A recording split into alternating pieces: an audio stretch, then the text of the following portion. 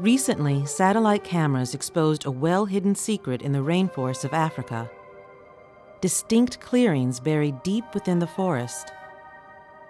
These strange islands are located in a northwest corner of the Republic of Congo, where an expanse of lush vegetation makes up Odzala National Park. Though Westerners were unaware of these clearings, local people call them bais. In the dim morning light, creatures cautiously approach the bai. It's a group of western lowland gorillas. A large male sports a waistcoat of white hair, a symbol of his dominance. At more than 300 pounds, this silverback rules a harem of unrelated females and family members. On any given day, several groups may share the bai in peace, but the equilibrium is fragile here and easily upset. This morning, a young, solitary male is also on the scene. He swaggers in, perhaps for a drink and a bite to eat. But to him, the bai is also an attractive singles bar, a place where he can eye the market of potential mates.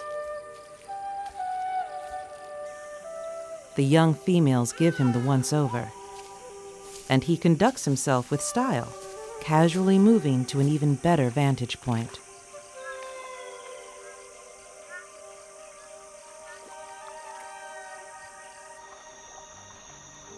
A dominant silverback has enormous responsibilities looking out for the welfare of his group. His family relies on him for guidance, for leadership, for protection. Any challenge to a silverback's authority is a potential threat to the stability of his family. This one tries to ignore the intruder in their midst, but how long can he hold out? With a rush of confidence, the single male dances across the bai creating a spectacle.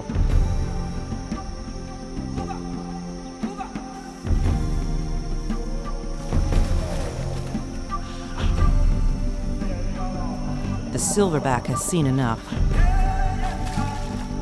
They silently but aggressively face off.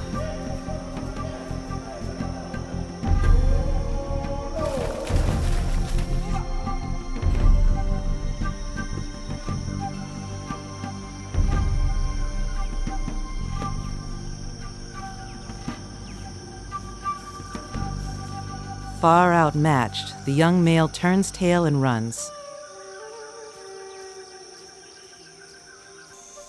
Calm restored, the bai returns to its more peaceful state.